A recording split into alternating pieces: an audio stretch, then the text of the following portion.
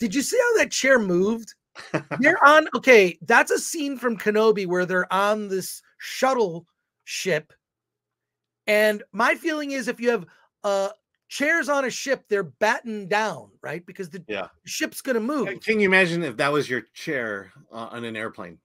Yeah, no, they, they, it has to be battened down. It's look at it again. Look at how the chair moves.